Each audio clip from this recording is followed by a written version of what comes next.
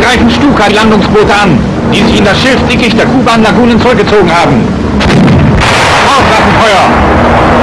Die einzelnen Ziele sind kaum zu erkennen.